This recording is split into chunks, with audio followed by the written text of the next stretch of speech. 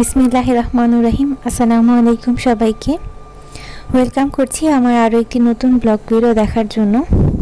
তো সবাই কেমন আছেন? আশা করছি যে যেখান থেকে বসে আমার এই ডেলি লাইফের ব্লগগুলো দেখছেন না কেন, মহান আল্লাহ তালার অশেষ রহমতে সবাই সুস্থ আছেন, ভালো আছেন। আলহামদুলিল্লাহ, আমিও বেশ ভালো আছি। আর তাই তো আরও একটি নতুন ব্লগ নিয়ে হাজির হয়ে গেলাম আপনাদের মাঝে শেয়ার করার জন্য। বরাবরের মতোই আরও একটি সুন্দর দিনে সুন্দর সকাল থেকে আমি আমার ব্লগটি শুরু করে দিয়েছি। আর দেখতে পাচ্ছেন এখানে আমি আমাদের জন্য নাস্তা বানিয়ে নিয়েছি। নাস্তা বানানো হয়ে গিয়েছে, এখন শুধু আমরা খাওয়ার জন্য আমি সার্ভ করছি। তো পরোটা বানিয়েছি আর সাথে ছিল মুরগির মাংস। আর এখানে হচ্ছে চা নিয়ে নিচ্ছি এক কাপ। কারণ হচ্ছে চাটা আমি অত একটা মানে দুধ চাটা অ্যাভয়েড করছি। তো সেজন্য শুধুমাত্র জানাতে বাবার জন্যই নিয়েছি, এজন্য এক কাপ চা। আর একটা ডিম পোস্ট করে নিয়েছি, কারণ হচ্ছে মাংসটা বেশ ঝাল ছিল। তো জান্নাত আবার খেতে পারবে না, জান্নাত মোটেই ঝাল খেতে পারে না। তো ওর জন্য শুধু ডিমটা পোস্ট করে নিয়েছি, আর আমরা দুজন মুরগির মাংস দিয়ে খেয়ে নেব। আর এক কাপ চা জানাতে বাবার জন্য। এই ছিল আজকে আমাদের সকালবেলার নাস্তা।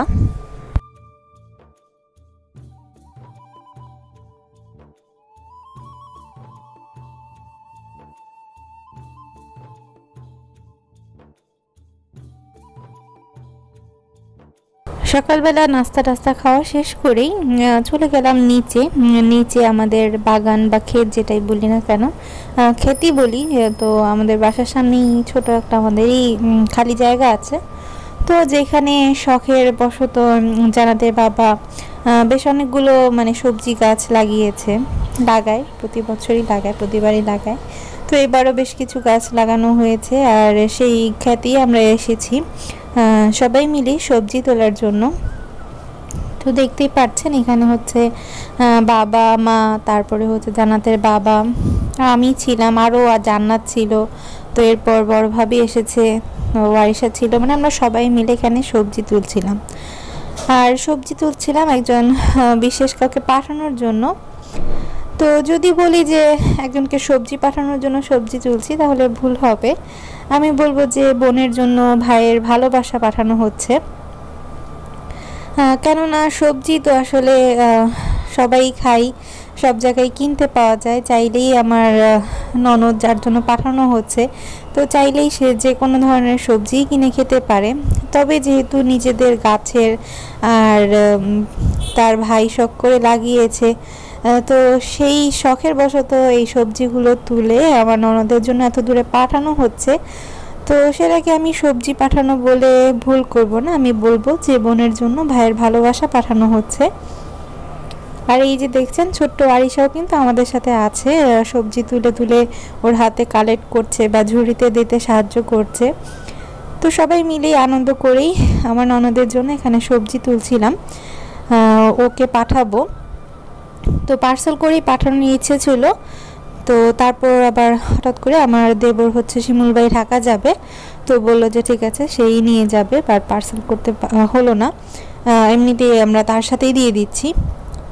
তাছাড়া দেখা যায় আমার ননদ সুইটি আসলে যদি সম্ভব হয় ওর সাথেও কিছুটা দিয়ে দেওয়ার চেষ্টা করি, বা আমরা যদি কেউ যাই নিয়ে যাওয়ার চেষ্টা করি।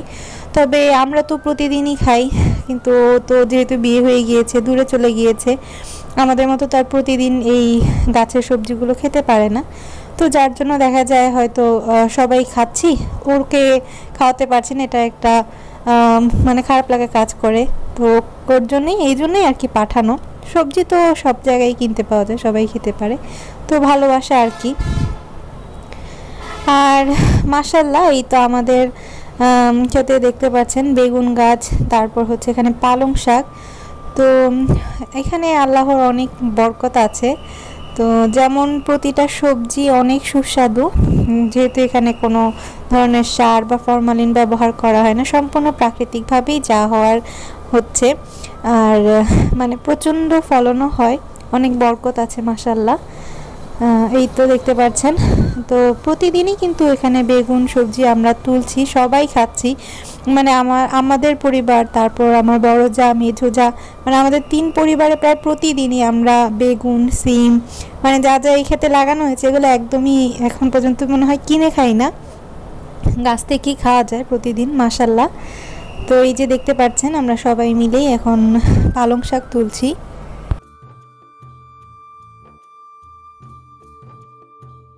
আর আমি আন্তরিকভাবে খুবই দুঃখিত। আমি যখন ভয়েস ওভার করছি, আসলে আমি দিনের বেলা ভয়েস ওভার করছি। যার জন্য আশেপাশে অনেক শব্দ শোনা যাচ্ছে। আসলে রাতের বেলা এখন দেখা যায় জান্নাতকে পড়ানো, তারপর অন্যান্য কাজ করে শরীর ভালো থাকে না মিলিয়ে রাতে আর ভয়েস ওভারটা করতে পারি না। এডিটিংটা কমপ্লিট করে রাখি। তো দিনের বেলা যখন জান্নাত স্কুলে চলে যায়, জান্নাতের বাবা কাজে চলে যায় তখন আর কি কাজের ফাঁকে একটু আমি বসে ভয়েস ওভারটা দিই।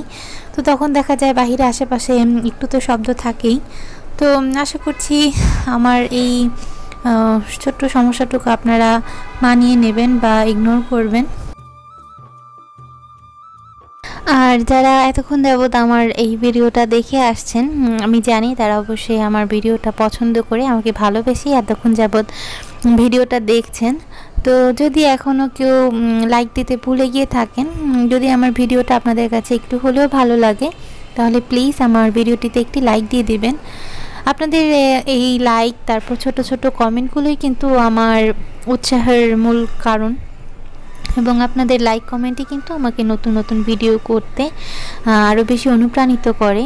আর আমার চ্যানেলে নতুন হয়ে থাকলে, আমার চ্যানেলটি সাবস্ক্রাইব করে আমার চ্যানেলের পাশেই থাকতে পারেন। সবজি তোলা শেষে উপরে চলে এসেছি। আর আজকে রান্না বান্নাটা ওইভাবে শেয়ার করছি না। উপরে এসেছি, এসে আমার এই খালা শাশুড়িও এসেছে। তো খালা আবার আসার সময় তাদের বাসা থেকে মানে তাদের গাছের দেশি বড়ই নিয়ে এসেছে। তাছাড়া আরও অনেক রকমের শাক নিয়ে এসেছিল। তো সেই বড়ই আবার আমার মা মানে শাশুড়ি মা হচ্ছে বলছিল যে ভর্তা করার জন্য। তো এদিকে আমার বড় যা হচ্ছে, পাটায় মানে বড়িগুলো দেখতেই পারলেন কীভাবে মানে থেতো করে নিয়েছে। তারপরে এখানে হচ্ছে শুকনা মরিচ টেলে হালকা একটু বেটে নিচ্ছে। তো কে কে এই বড়ি ভর্তাটা খেয়েছেন? এটা কিন্তু খেতে অনেক মজা। আমি যদিও ওইভাবে মানে আগে এইভাবে ভর্তাটা খাওয়া হয়নি আমার। তো ওদিনই আমার মানে খাওয়া হয়েছে প্রথম, অনেক ভালো লেগেছে। আর সেজন্য আমি ভিডিওটাও করে নিয়েছি চট করে। আশা করছি আমার আপুরা তাদের কাছেও এই, এইরকম ভর্তা বা এই ধরনের ভিডিও দেখতে ভালো লাগে।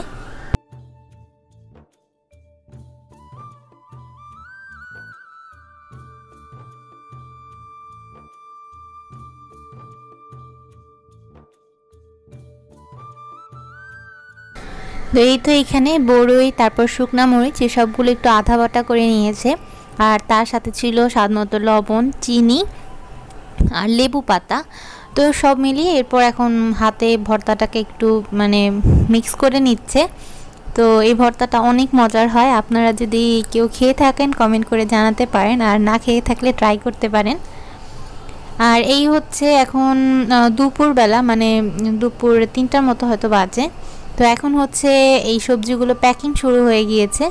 আর এই যে আমাদের গাছের সিম মাসাল্লাম সিম, বেগুন, আর হচ্ছে এই পালং শাক, এগুলো হচ্ছে সব আমাদের গাছের। তো এগুলো ননদের জন্য পাঠানো হচ্ছে।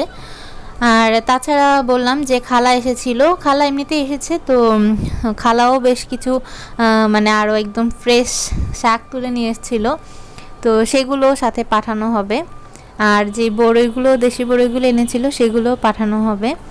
আর এই যে এদিকে হচ্ছে খালা মানে পাঁচ মিশালি শাক হয়তো মানে অনেক রকমের শাক মিক্স এগুলো এনেছিল। আরও ছিল লাউ শাক, তো এই সবগুলোই এখন হচ্ছে প্যাকিং করা হবে। তারপরে শিমুল ভাই হচ্ছে যাওয়ার সময় নিয়ে যাবে।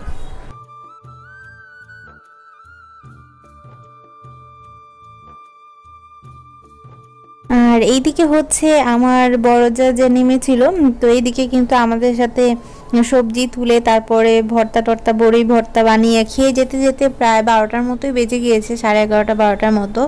তো তার মধ্যে আবার সে উপরে তার বাসায় গিয়ে এই পিঠাগুলোও বানিয়েছে, জানি না কীভাবে এত অল্প সময়ের মধ্যে। তো বেশ কিছু পিঠা বানিয়ে সে আবার নিচেও পাঠিয়ে দিয়েছে মার জন্য। তো মা আবার পিঠাগুলো সুন্দর করে ট্রের মধ্যে নিয়ে নিচ্ছে। এগুলো হচ্ছে মানে পাতা পিঠা বলে।